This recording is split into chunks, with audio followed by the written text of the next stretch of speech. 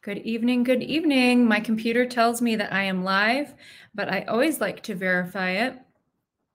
Hello, all. Comment if you are on my Rep Laurel Libby page and you can see this. I would love to know. Then I don't have to verify it myself and make sure that we really are online for tonight's live. All right, I am seeing it. So, hello. Hi, Alex. All right, we've got a, a viewer or two on. So I'm very excited to be here with you guys tonight, and uh, the reason is that I am I am not the the primary person on here tonight. I have some guests on tonight that I'm very excited about. Uh, tonight's live is called Let's Talk Energy, and I'm seeing people saying hello already. Hello, Heather and Kimberly and Sheila.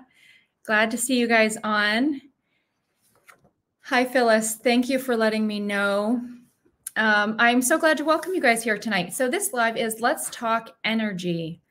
You know, I don't know if any of you have been seeing uh, high electricity bills coming to your mailbox or your email inbox over the last couple of months, but I have been hearing from tons of constituents and my fellow Mainers all over the state asking the same question Why is my electricity bill so high? Um, I've, I've heard from folks whose electricity bill is, you know, it's it's doubled from 100 to 200 dollars, and then from folks who've literally gotten an electricity bill that is for thousands of dollars. And so, what is up with electricity prices? Um, and then in heating oil and gas, just our prices are going up on everything that keeps us running here in Maine in the winter. And so, what what is up? We all need to be informed on these issues that so drastically affect our everyday life.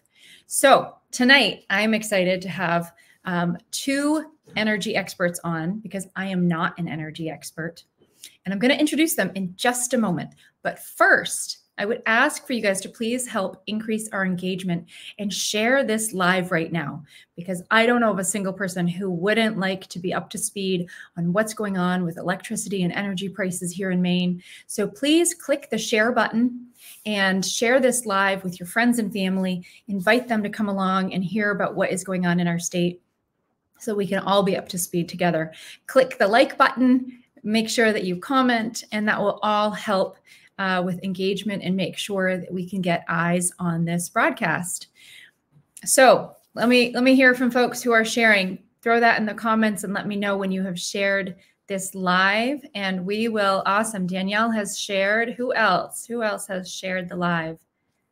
We're getting more eyes on, so you guys must be doing a good job. Who else has shared? Throw it right in the comments. Julie, did I watch the rally last night? No, I did not, but I, somebody did send it to me today. So maybe I'll have a chance to later. All right. Uh, the eyes on the broadcast are ticking up quickly. Thank you, Randy, for sharing. Awesome. Okay, keep sharing away, guys. But I am going to introduce uh, the first person who is going to be joining the broadcast tonight. And uh, that is uh, someone that you may know from his weekly, long standing appearance on the George Hale and Ric Tyler show, where he is their tech advisor on energy. Not only their tech advisor on energy, but this gentleman was the technical advisor on energy to former Governor Paul LePage for eight years. Jim LeBrecque is a self taught mechanical and electrical systems and designer. And I'm thrilled to have him on here tonight to answer your questions and our questions. Welcome, Jim. Thank you so much for coming on tonight. Why don't you say a few words and introduce yourself a little more to our guests? Well, uh, I'm uh, so sorry that we had to meet under these circumstances of high energy costs, but uh, anybody that listens to me on the George Hale Ric Tyler show would uh, see that I uh, have been uh, very uh, been wanting about this for a very long time. Mm-hmm. Our energy policies on the national and state level have been heading in the wrong direction, especially the Maine uh, policy directions for since mm-hmm. the oil embargo of 73. We've been heading down the wrong road, and uh, it would take a lot more than an hour to go through all the legislation that was passed uh, that has uh, caused us great harm. But probably one of the most important things I want to leave to the public here in, in the opening is that why energy is so critical is that that is what brings us our standard of living. And when you increase energy costs, that cost permeates every single purchase you make, whether it's uh, your groceries at the grocery store, whether it's your taxes coming in from the city or town, where they have to pay more to light the schools and uh, heat the schools and town offices and everything. Uh, it, there's nothing that uh, avoids the high cost of electricity that passes it on. So what you end up paying on your electric bill as an increase each month is a very small part of what your total amount you're paying uh, in for energy through the purchase of everything you buy. Well, thank you. I think that's a great introduction to what we're going to be talking about tonight, Jim. Uh, my my next guest is the state representative from Berwick. This is Representative Beth O'Connor, and she has previously served on the Energy Utilities and Technology Committee, and she can speak to how the policies that have been passed in the legislature in our state um, are affecting us here and now. So, welcome uh, tonight, Representative O'Connor. We're so glad to have you. Thank you very much, Representative Libby. It's a pleasure to be here. And I just want to put this out front. I am not the expert here. I can tell you how policy is made, I can tell mm-hmm. you how sausage is made in the legislature. But Jim LeBrecque is without a doubt the energy expert. He actually has been my mentor in learning. And I have learned a lot from him. But when we do, when we talk about policy and how that policy is made, I need, I need to be clear that everybody that goes to the legislature is not an expert. I was not an expert when I served on energy, utilities, and technology for four years. Mm. However, I looked at both sides to every bit of information. I looked at those sides because I didn't know anything at all. And what I learned was money is what mm. really moves policy especially in the energy committee there were times when we would have um, you know over 10,000 billing hours sitting in front of us for attorneys coming to make their mark. And this is one of the reasons that policy is so high and it is actually really detrimental to each and every one of us. And what happens when we pass policies then the ratepayers, especially in energy utilities and technology, whether it be the electric ratepayers, the water and sewer ratepayers, um, any your your broadband bill, any um, you know any of those different services, as soon as the legislature gets involved, those prices go up. And the reason, and Jim LeBrecque can absolutely say that this is so, the reason that this happens is because years ago, the engineers and the planners were removed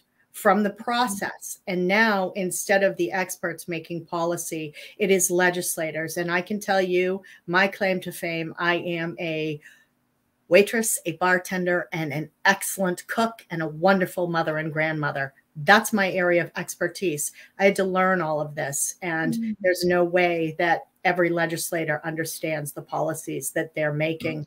And so we all should be more diligent. I know you are Rep- Representative Libby, and I try to be diligent because my job as a state representative is to protect all of the people. Because if one section of the state isn't healthy, then the rest of the state is not healthy. Mm-hmm.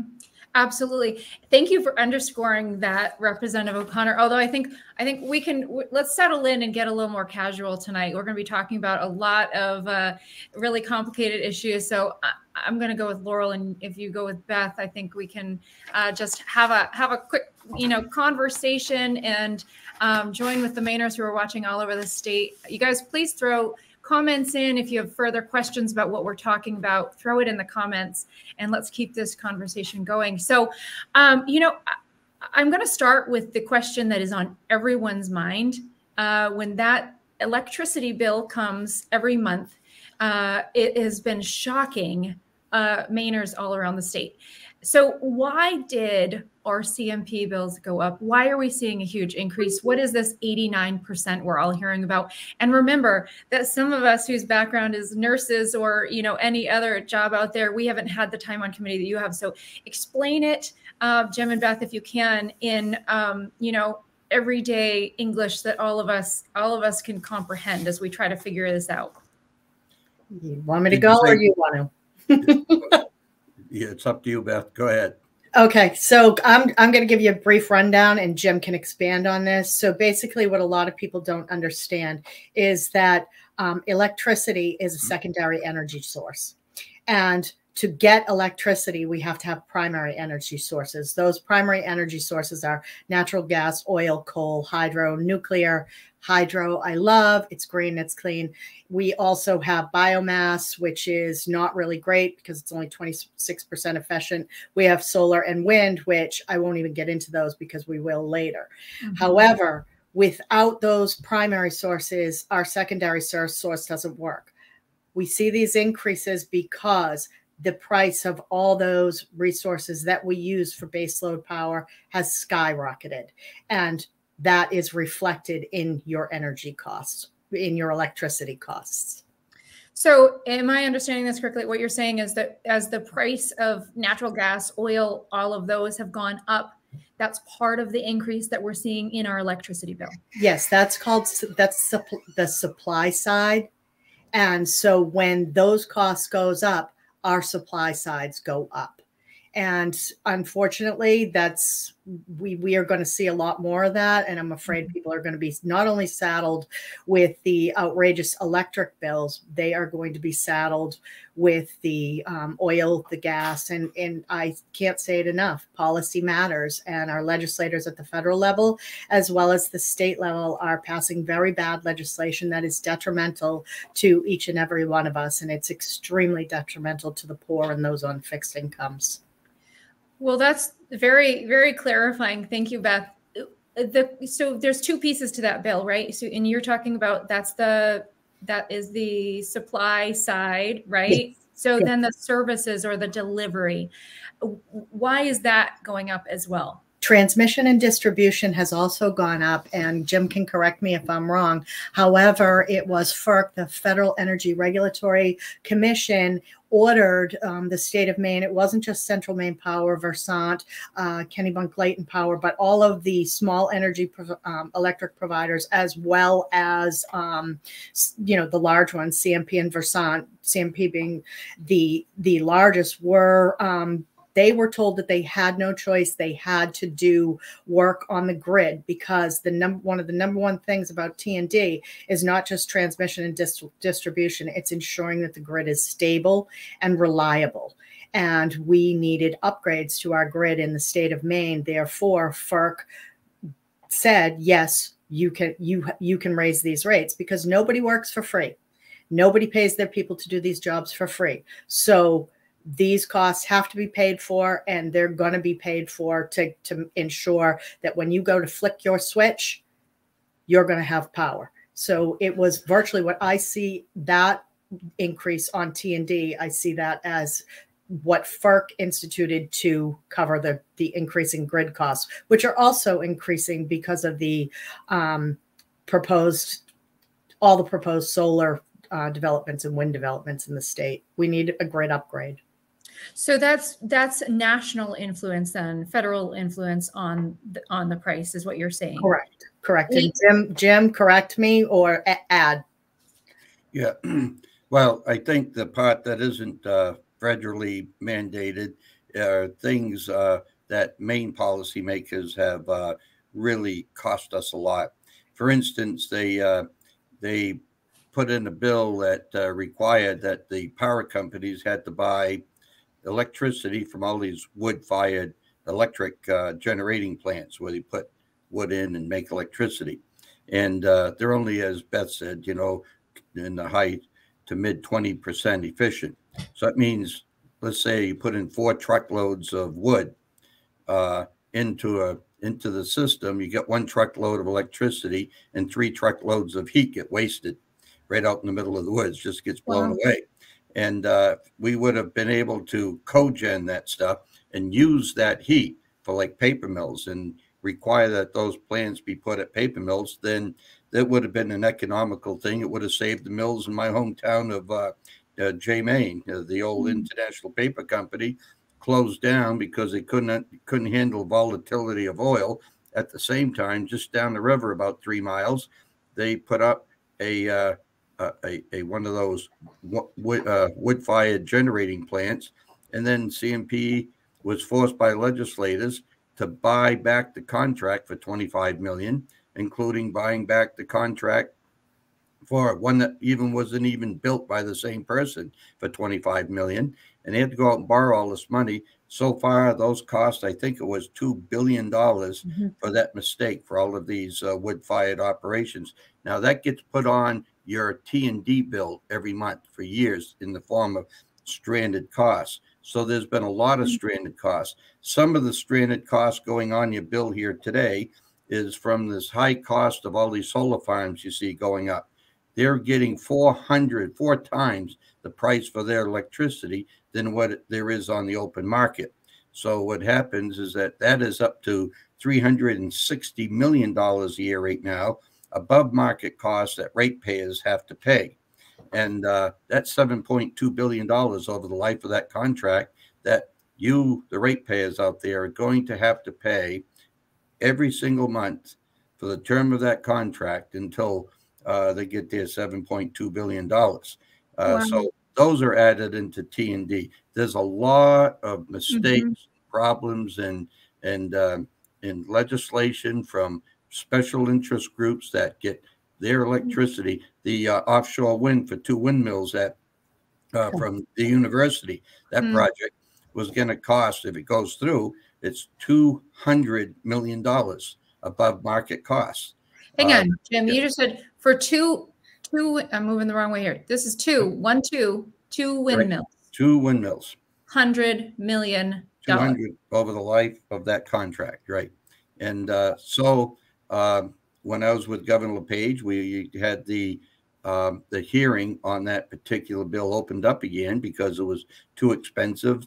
The technology changed over time. They went five years and didn't do anything technology changed, marketplace changed, and so we said, let's have another hearing. We did, and the PUC, after all the evidentiary hearings, said, no, it's not a good deal. You know, Massachusetts was buying some stuff for six cents, and they were going to start off at 22 cents, and I think eventually get up to 42 cents a kilowatt hour. Wow. And uh, so that come up to 200 million. You know, that didn't go through yet, but uh, yeah. but then right after the PUC shot it down after all the hearings. hang on, don't talk about the PUC yet, Jim. You're leading into uh, the next oh. section here. Let's hold right there okay. for a quick minute if we can. Um, I don't want to throw too much at folks. I'm keeping an eye on the comments.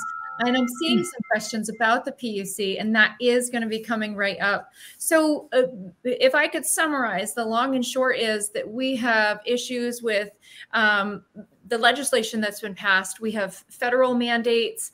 Uh, we have uh, the two different sides of the electricity bills. One side where we've got gas, natural gas, and the, all the other ways that electricity is produced. That cost to produce the electricity has gone up, as well as the delivery side of it. Is that uh, an accurate summary of where we're at so far? It's it's a yes. uh, layman's uh, terms. It's an introduction.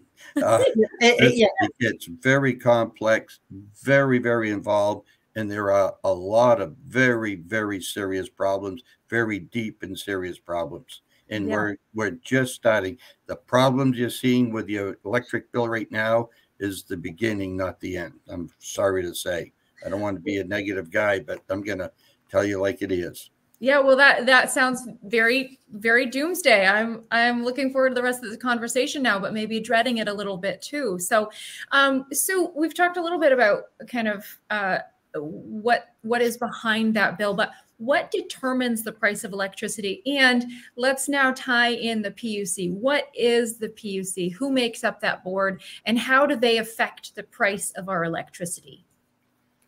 Go ahead beth. Okay, so the puc is it's actually the mpuc it's the maine public utilities commission.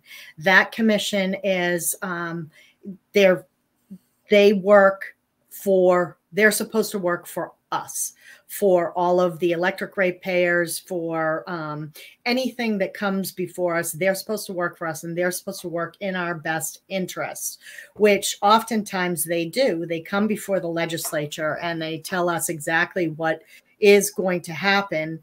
Um, but oftentimes I've noticed that they do do the best job they can. They are paid by the taxpayers to work in our best interest. But oftentimes it is political. And depending on who's been appointed is the information that you get the sway or the lean to. Um, and under this particular administration the puc is headed up by the chairman is phil bartlett who was the um, one of the chairs of the Maine democrat party. And wait a second. Wait a second. He must be an energy expert of some kind though right I mean, these people can they be appointed to the PUC just because of political ties, or do they have to have, you know, some extraordinary expertise? It, uh, how many people are we talking about here that are on this board? It's five, I believe. I thought it was three. Is it? Three? Yeah, it is three. It three. is three. It's okay. yeah, it's the main. They, they must the be, main you know, trust is five. Yeah. Okay, so but decades, decades of energy experience, right? He was no. a lawyer, but he was on the energy committee at one time before he became the chairman of the Democratic Party for Maine. Well, Beth is on the energy committee too, and she's already told us she was a waitress and a bartender. I am not I qualified say, to be on on that Being I, on the energy committee does not necessarily qualify you. No, it does not qualify you. and I can tell you, in my four years on that committee, I probably did more research and actually had real knowledge than Phil Bartlett had.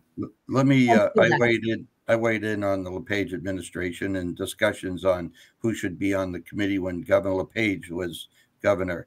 And we decided that the best combination was to get a lawyer, an engineer, and an economist. That was the best blend. Okay. You, you're dealing with economics, you're dealing with sure. law, and you're dealing with engineering. Sure, that, that was sense. the best combination. That's exactly what Governor LePage had mm -hmm. at the mm -hmm. time uh, he got done. Wow. Well, I, I, would I would certainly love to hear more about that in the future. Look, I, am getting quite an education tonight.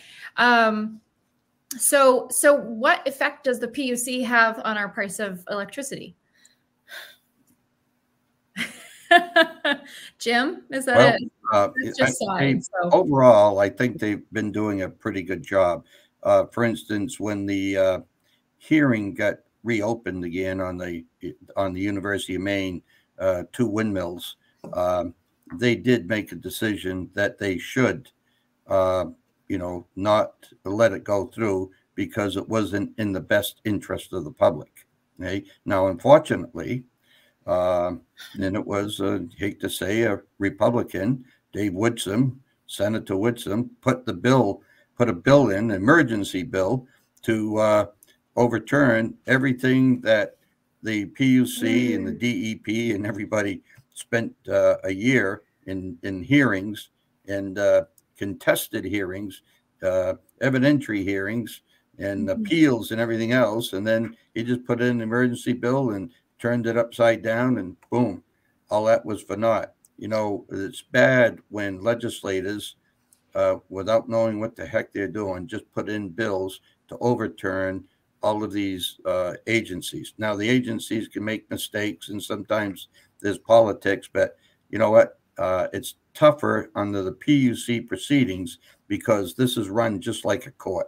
In fact, it is a, it a, is court, a court, And, and it does go to appeal. Mm-hmm. And uh, they do use appeals in every almost every matter.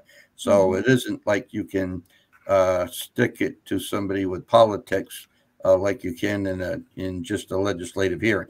Mm-hmm. But but the legislature can overturn whatever it is the Public Utilities um, Commission has said. They don't have to work in in so the PUC does put forward what's in all of our best interests to the best of their ability. Mm-hmm. The legislature, oftentimes, just like with Dave Woodsome overturning that, he was the chair, the Senate chair of the Energy Committee at that time. Those hearings were really, um, really terrible hearings listening to a lot of the damage that was done. Mm-hmm. I looked for information on all of those hearings and I asked for information from it was Habib Dagher was in you know in charge of this and um, they wouldn't give me all the answers to the questions that I asked about ice chipping and about how much energy this would um, when we had a full scale model. Well, the one eighth size scale model that they used to launch this with, I forget how much the lines cost, but it was a mm-hmm. minimum to run to the to the mainland. And so I finally had to get that information from Central Maine Power. And for a $500,000 investment the energy created sent to the mainland was worth $220 for a full year. So, oh gosh. yes, these are the things. And oh, legislators, without, you know, people, well heeled individuals come up, you know how they testify yeah. in energy. I can tell you, oftentimes, like I said before, to millions of people, it, if not millions, but thousands, sometimes we have over 10,000 hours of, of lawyers sitting there, billing hours, sitting in front of the EUT wow. committee. So it's all it's money and the money and who talks and it shapes the policy and it's also special interest and in energy is probably one of the most special interest driven com committees that I've served on. Well, and we're going to be talking about some of those special interests in a few minutes. Uh, but first, I'm gonna I'm gonna move away from uh, committees and and all of that and ask a really specific question that that I've been getting a lot of. Uh, I've been hearing from folks who say. We invested in heat pumps. They're supposed to be the most amazing way to heat and cool your house. And now all of a sudden, my electricity bill has skyrocketed. What do I do? So what do you say to folks who who are have dipped into the land of heat pumps and and how can we get some relief here? Yeah so uh, that's my specialty i'm a thermodynamist that dealt with uh, refrigeration cycles for 50 years now. And uh, i was the one that put the heat pump program together for governor lepage that was his governor's bill. And mm-hmm. uh, the idea of it was to reduce the amount of oil that we use because that's where our carbon is uh, Maine is the most dependent state per capita on oil of any nation, any state in the nation. Mm. So, uh, but we use the least amount of electricity. Also, our electricity is arguably either the third or the fourth, depends on which side of the argument you're on, cleanest electricity in the nation. Mm-hmm. So, when you take a heat pump and you put one unit of clean electricity into it, you get that unit of energy as electric heat in your house. Plus, the heat pump grabs two more equal amounts of energy from outside and pushes that into your house. So you buy one, you get three. Okay. And it's very, very clean. So, and then that displaces the oil in your, in your uh, oil, you know, in, from you burning oil. So now when you put money into a solar panel, that solar panel displaces pretty damn clean electricity, right? And it's a very high cost for the uh, you know for the solar panels relative to a heat pump, and mm-hmm. uh, and it's displacing clean electricity. So when you look at it and run all the numbers, a heat pump is eight times more cost effective at reducing the CO2 uh, than a solar panel. So for every million dollars worth of heat pumps you put in, you have to put in $8 million worth of solar panels to give you the same CO2 savings. Wow. But now, mm-hmm. So, but now what's happened is that all these, all this bad legislation is driving the, is driving the cost of electricity way up. Mm-hmm. And also the heat pump is what's paying the biggest part of uh, solar. For people that have a heat pump, uh, they mm-hmm. end up paying twice as much as a general rule for their T and D because their bill is twice as high, let's say, for their home. Okay. So they contribute okay. twice, as, twice as much for the delivery of that over for the fixed cost. Fixed cost is all the wires and transformers and everything that you have mm-hmm. and service and you know backing that all up and reading the meter and all that kind of stuff. Well, mm-hmm. that's fixed cost. So you use more electricity, but you don't require more fixed cost. Okay. So, okay. so hang on. Can I ask you a question on, on that, Jim? Then, so yeah. if I'm understanding this layman here, layman question. So if I'm understanding you correctly, because because the cost of the supply has gone up, it, the the primary source, right, it, gas no, and that's separate. That's separate. so so that doesn't affect the price of you know electricity going up with heat pumps because you're because you're providing your heat through that that means with a heat pump which requires electricity i'm just wondering if the high prices of oil and gas and and all of that that we've seen go up is part of what's driving um, you know obviously you need electricity to run a heat pump is that part of what's driving that that that uh, increase there. Yeah. No. Um, well, uh, it's it's uh, it's a little bit more convoluted and complex than that. But uh, let me put it this way: so uh, if everybody was using the same amount of electricity, right, and they all make their same contribution to the transmission distribution system, and now I put in a heat pump, now I'm paying uh, twice the I'm using twice the amount of electricity. So now mm-hmm. my contribution to T and D is double. In the meantime, a neighbor puts in a solar panel, he's using less, so he's paying less for the for the uh, use of that system. So uh, what happens is that the way it unfolds is that heat pump people are the ones subsidizing the solar people in a very big way to the point yeah. where it's going to break the back of something that's eight times more cost effective at accomplishing uh, the goals of reducing CO2. Okay. And uh, but one of the things that we had in the LePage administration at the very end, uh, we worked on a bill, and uh, uh, Beth was part of that. Was a rate restructuring bill. And what's happening is that people with second homes and camps and solar panels and stuff like that, they don't pay their full cost for using the T and D. You know, if you have a camp and you pay twelve or fourteen dollars a month, uh, mm-hmm. and you think of the expense, they had to do all the engineering, surveying, they had to get all the easements, all the legal work. They had to construct that line, buy all the poles and wires and transformers and mm. meters and everything and get that. And then they have to read the meters. They have to supply meters. They have to uh, uh, they have to be out there to service it at three in the morning when a tree falls on the branch. And uh, would would you would you be willing to invest in all that if I said I'm going to give you twelve dollars a month? You know, it, right, it right. Cost. So what happens is that cost, and then the solar people aren't paying mm-hmm. anything mm-hmm. for their T and D to speak of. They get paid to use it, so it's oh, a double dip situation. And I make this, uh, I, I reference this to uh, you driving a Prius. So when you go down the turnpike, instead of paying two fifty, they give you two mm-hmm. dollars fifty cents because you're driving a Prius, right? right? So there's less people paying in and more people pulling out. So therefore, the pe- next guy that drives up and he doesn't have a Prius, he's going to cover all that additional cost. It's the same thing with the heat pump and solar panel uh, scenario.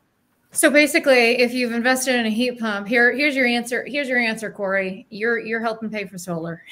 That's the long and short. If you've invested in a heat pump, you're helping pay for solar. But if uh, we if uh, Governor LePage gets back in there, uh, I'm sure we're going to be working on right where we left off at the end and that is a rate restructuring bill where everybody pays their equal amount to use the T and D system. Everybody has that fixed cost. It's a fixed cost every month for for the utility, so you just pay them mm-hmm. your share of that fixed cost. It's a fixed cost every month on your bill. And then how much electricity, where you buy it from, is a variable. So we had a program laid out called Nine for 90 with that. And if you, everybody paid their share of the meter and, and T&D costs, then you could get electricity for like around nine cents a kilowatt hour, which would be equivalent to 90 cent oil right now. That's what wow. you Okay, so we're going to work real hard on getting that in there. Nine for 90, we call it. Remember that. well, I'll tell you what, Jim. Uh, 90 cent oil sounds really good to me right now. Uh, we are on propane, and I can tell you that it is not 90 cents. Uh, so, question moving on from from this to kind of a new area we haven't really talked about yet hydro. Why don't we use hydro? Why aren't we pursuing Maine based hydro? That one's Beth. She's been working on the 100 megawatt thing. She's got that built. She she just dusts it off every year and reapplies, things the dates and reapplies it. Well, it's so it has been an ongoing bill. And actually, what I found in I submitted the um, we have a hydro cap. So we have a 100 megawatt hydro cap. And so every year I would submit the bill to remove the 100 watt, you know, cap on that 100 megawatt cap but every year it would fail and i couldn't understand it. And then it got to a point as so the bottom line who killed the hydro and our own dams? Was the biomass industry actually was the ones who came out in full fledged opposition to lifting the 100 megawatt cap. Now, I understood why they did it because if we lifted that cap, their 26% basically 26% mm-hmm. efficiency and not really a good use of power mm-hmm. unless you are cogeneration they kept coming after this because they were the ones that were going to lose money and in that particular um, every time that i submitted it it was the democrat legislators that killed this legislation and should we have hydro in the state? Absolutely. We should definitely have hydro in the state. And it is political and it is mm-hmm. always, you always follow the money. And that is what happened. And now um, we are trying to get the, you know, 1,200 megawatts of energy from Hydro Quebec, which was a phenomenal deal for every single solitary one of us. And I thought, well, that's a heck of a lot higher than the 100 megawatt cap.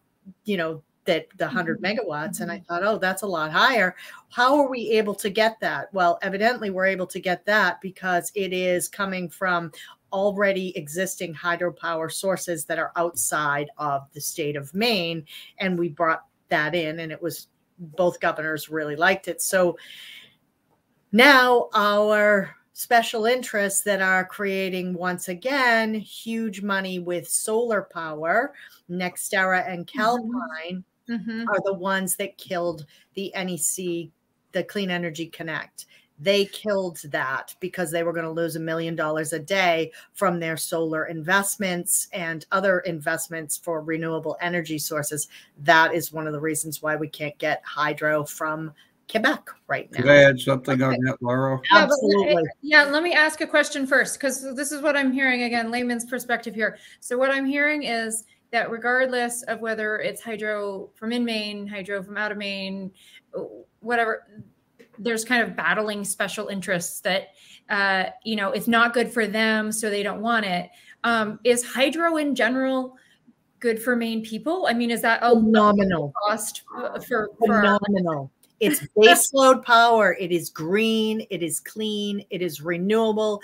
I can't tell you how much carbon it, mm-hmm. that corridor would have removed. It was the most environmentally sound project that has ever, ever hit the pike here.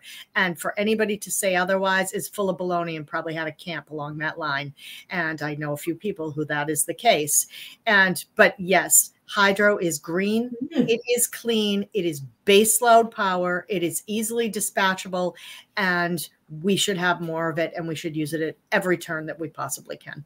So, regardless of where folks fall on the corridor, it sounds like we absolutely should not have this somewhat arbitrary, it sounds like, cap on um, how much hydro we can produce ourselves in our state. Absolutely, that is so. However, um, when I looked deep and mm-hmm. after the the biomass, the stranded costs for biomass and things like that were um, dissipating, it was evident it was still a savings, but it was virtually a twelve million dollar a year savings if we lifted that cap. And at that point in time, it was just more of of you know it would have been a $12 million savings, which in wow. the giant scheme of things is mm-hmm. not that much money. Right. When you consider that the law that was passed for solar right now um, by mm-hmm. the Mills administration, increasing community solar farms from 660 watt kilowatt mm-hmm. hours mm-hmm. kilowatts to um, mm-hmm. up to five megawatts, and increasing the community participation from nine individuals to 200. When you look at that policy, Jim said the number earlier. It's 7.2 billion dollars over the life of those contracts. 12 million is really a drop yeah in the bucket so, so we're going to go on to solar next but jim i know you had a thought you wanted to share so go ahead and then we're gonna we're gonna hit solar so in the uh, 90s, uh, the legislature put in a law that said that the uh, for deregulation of our electricity generation, they said we want competition. So uh, what this, all of these competing sources of electric generation are all against hydro, which is the most efficient and most valuable. You know, solar's against it, wind's against it uh, because of the energy credits, production tax credits, and so forth, renewable energy credits. But uh, then in this case, Calpine, who has gas power, gas powered a generation in the state, and uh, and then um, NextEra, who has oil fired, Mhm. they're against it because they were going to lose up to $3 million a day, those two companies Mhm. uh, together, if the NECEC line went through. That's why a lot of people don't know it, but all of the millions of dollars for all the legal opposition to this, all of the millions of dollars for advertisements that you see every minute of the day throughout Mhm. this, all of the uh, costs for the uh, not only one but two referendums, all Mhm. came from primarily from NextEra and Calpine because they had a lot to lose. Now it's proven to be that now that uh, now that their cost of gas and oil has gone way up, that money that cost you extra money, uh, the, the amount that cost you extra money every month is Mhm. going directly into their pockets. They've already received all of their money, a big return on their investment already by trying to kill off hydro. So everybody's trying to kill off hydro because they all have a special in the biomass, as she said. Everybody wants to kill off hydro. It's too So, effective. so i- i- in summary, then, and and we're about to go into solar, but it's, and I, I think you're going to say it's the same thing. So, so we have Mainers who need low cost electricity, and we have special interest just beating each other up and uh, convincing our legislature to pass poor policies that don't benefit, you know, our our families all around Maine. It, and it's being driven by who's who's Yeah. bought who's going to lose the most on their bottom dollar. I mean, that's Well- just a terrible way to pass policy. Let me let me let me inject that You uh, live it. that You the uh, that the special interest organizations are driving the legislators down there. yeah. They are the ones that demand and tell them which way to vote, how to vote, when to vote. Uh, and uh, so we have to get our legislators back under control because right Mhm. now those special interest groups are walking all over them and they're controlling them, whereas they're and they're they're making decisions that are in the special interest. Hmm So uh, let's talk about one of those special interests. How about how about solar? Why do we have so many solar farms going in? Who is benefiting from it? Are we subsidizing it? What is what is the bottom line on solar? And are our Maine people benefiting from it? Because you know our, our uh, Mainers should be the ones benefiting from any of these policies. So, Beth, why don't we start from you? Give us the skinny on solar. So I've been fighting this battle with Jim for a long time, um, 10 years. I really got into it in the energy committee. And what it is, is there's just there's so much fluff out there about it and how wonderful it is and so a lot of people buy into the stories that it's green it's clean it's renewable and it sounds good and it's um you know it, it just it, it sounds good but then when you start looking into it it's not good. But the the sound bites are so constant that it's green it's clean and it's renewable. And i can't say that enough but that's not the case. And it can't be it, it cannot be um, a primary energy source ever because it's 15% Oh, wow. capacity factor so it'll never it'll never ever reach that plus it's extremely hang on. expensive. This is something very brand new to me, Beth. So I need you to back up here a second. Uh, as far as I understood it, you know, someday solar is going to rule the world and that's going to be all the electricity we need. You're telling me that it, it can't by itself be our primary source of electricity? there's no way possible. Number one, if you took all of the silver in the world that is currently in existence, every single solitary bit of it, and you tried to build the solar panels with that silver, you would only be able to blanket 1% of the earth with solar. Um, in addition to that, it takes a lot of, you know, rare earth minerals. It would be absolutely impossible to do that. And it's also the problem is Mm. that um, that with solar energy, even though the costs have come down, it is still highly subsidized because of all the fluff that surrounds it, and people won't do the dip, the deep dive Mm. um, on on what it actually does. Mhm. So we are still subsidizing it at, it at a huge rate. If we killed our net metering policy and we killed the policy that allowed community solar to expand from 660 kilowatts to um, to up to five megawatts. If we killed that and we absolutely killed the subsidies in the net, net metering program, where net metering is the program where solar investors and solar owners are paid for the electrons that go out onto the grid from their systems. But those can't be controlled. Electrons can't be stored basically. So usually the system doesn't need those um, electrons at the time when these people are pumping it out and they're getting mm-hmm. paid 20 cents a kilowatt instead of three and a half cents a kilowatt mm-hmm. um, Wait, so, wait, wait, wait. How much a kilowatt? Hang on. My ears just caught that. How much per kilowatt are they getting paid? Versus so, how much? So retail, they're getting they're probably getting about 20 cents a kilowatt when when they shouldn't be getting more than seven.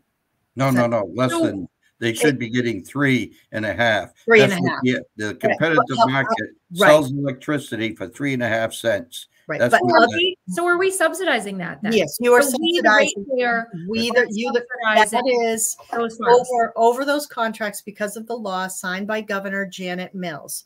The over rate that we will pay non-solar customers will pay to mostly out-of-state big investors and to solar owners. We will all pay all of us that are non-solar will pay over the next 20 years of those contracts we will pay 7.2 billion dollars as of right now um, Bill, yeah, Bill Harwood, he's the um, public advocate, said on February 22nd, 2022, he said clearly that what keeps him up at night is the solar policy that we have. And if all of the solar developments come into play, that it's going to be a minimum of $360 million annually on each one of our bills. Now, you have to think about that because you think of Hannaford as one of the largest employers in the state of mm-hmm. Maine, and their refrigeration units, they use a lot of mm-hmm. electricity. And so when they have to pay these higher prices, for us, it might be $10 a month on our bill, $15 a month on our bill. But when they pay it, it's a million dollars on their bill. And when that happens, it's we get the cost of all the goods and services go up. So it's really convoluted. It's a big, mm-hmm. it's a big round. So yes, we are paying. In addition to that, there was a 30 um, 30% tax credit from the federal government for solar.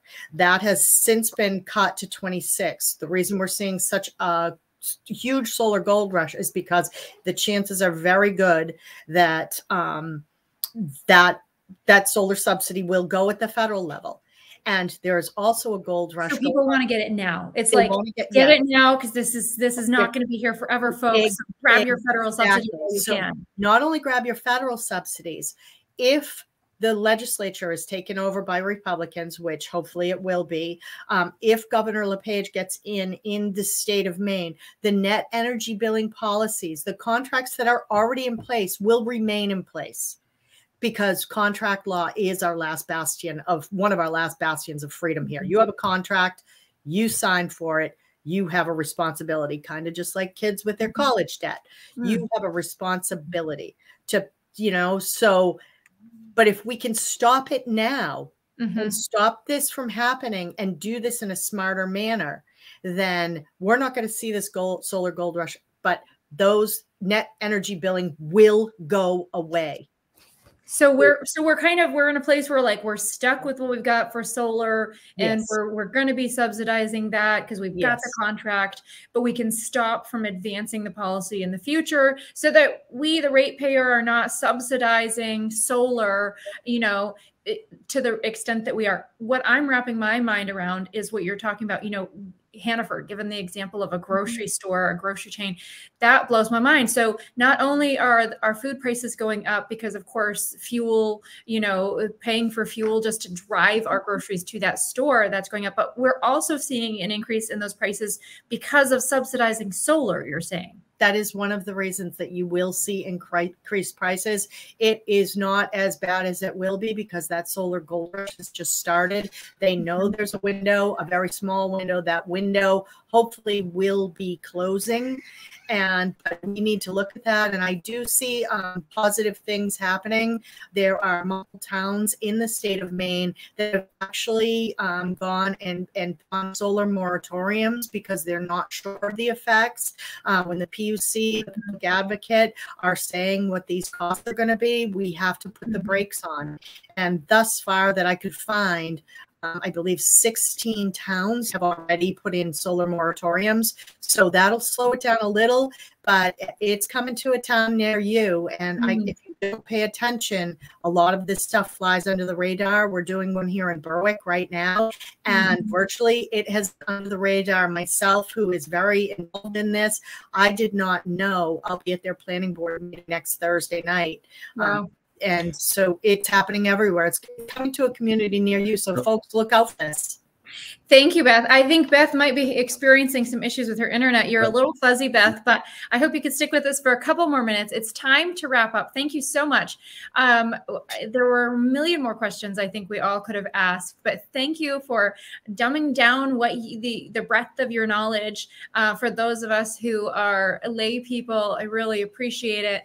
Um, Jim, can you can you give us uh, your last two minutes on what what our fellow Mainers need to know as we are looking at these rising costs of electricity and all we've heard about with solar. Give us your last wrap up in two minutes. Okay. Uh, it's uh, a security issue. Energy security issue is what I've been pounding on the radio and on all my speeches from St. Agatha to York, uh, Maine and uh, we have a short-term security issue and a long-term. Short-term is what we're facing right now, where we mm-hmm. pass up clean, large-scale, uh, renewable energy from Hydro Quebec, and instead we're relying on, for instance, Russia and Venezuela and places, mm-hmm. right, to get our uh, our energy, our dirty energy. Uh, mm-hmm. So that's one thing. But the long term is that Maine uh, is going is not going to be able to compete in the future for the high valued price of oil because the 38 developing countries in this in this world are going to be increasing our energy demand by 2050 to they're going to increase at 47%.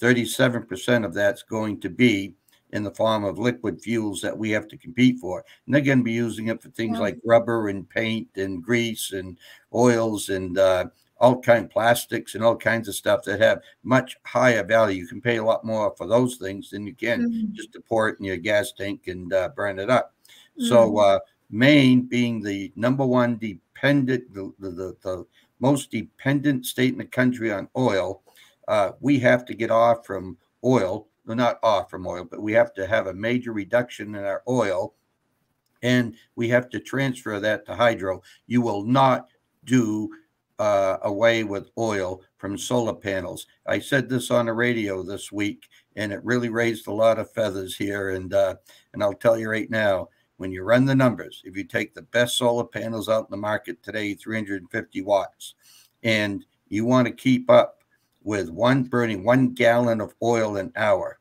you know, mm. for heat, and you want to have solar panels run an electric heater for your house that keeps up with the equivalent heat of burning one gallon of oil an hour, that's 1,000 solar panels in the wintertime when they have a 10% wow. capacity factor at $1,000 a piece installed cost without batteries. That's a million dollars to keep up with one gallon of oil an hour. That's a matter of fact. And uh, wow. uh, if anybody tries to argue with that, tell them to put the numbers down and I'll take a look at them for you. Okay. All right. Well, Thank you, Jim. I, I, and I'll tell them to tune in and listen to you every week. And they can uh, they can learn learn from you anytime. Wednesday mornings at six o'clock WPOM down your way. It's one hundred one point three. And yes, it is. All right. Thank you so much, Jim. I, you know, and you guys, we didn't even get to talking about nuclear power, France versus Germany, all of that. But maybe next time, Beth, can you give us your highlight in the last few minutes? What folks need to know and be paying attention to from a legislative perspective? I think we really, Jim summed it up. We've really talked about almost all of it. And it's pay attention to your legislators and ask your legislators just to step outside the box and not look at just one side of the issue because there's two sides to every issue and the truth lies somewhere in the middle. And if your legislators are more diligent and they understand the issues that are facing them and you, the viewers out there, you tell your legislator, this is what we know to be happening. We heard this, and the individuals like Jim and I have nothing to gain at Mhm. all by telling you folks the truth, except for maybe we'll get a little traction and we'll have lower energy bills. Mhm. But speak up, stand up, and look at what these energy sources really are and look at what government's doing and try to look at it objectively, look at both sides, because that way you're going to come and you're going to see that everything Jim and I are telling you is the truth and that you can make a difference. You can all make a difference out there, every one of you. You can start paying attention, and it's hard and it makes your eyes glaze over sometimes, but it's it's it's up to every one of you. It's up to mm-hmm. every one of you to to look because it affects you all, and mm-hmm. policy really does matter. And where we are today because of bad policy. That's. Eh, that's incredible. That's that's really what I'm hearing for a summary in my brain is that the the policies that are put in place in Augusta really do matter to our every mm-hmm. single day life. And it, if mm-hmm. if the number in my on my CMP bill is so drastically impacted by the policies passed in Augusta and by who our legislators are and who they're listening to and how they're voting, then I think we all have to be paying pretty close attention to who is in Augusta and how are they voting and what policies are they supporting. So mm-hmm. thank you both, Beth and Jim, for being on. You guys have been awesome guests. I have learned a ton, and I'm sure that the, those watching at home have as well. So thank you both so, so much. And I look forward to chatting next time. Awesome. Thank you so much, Laurel. Thank you so much. Thanks, Tim. Love you. All right. You guys. Bye, all. Have a great night.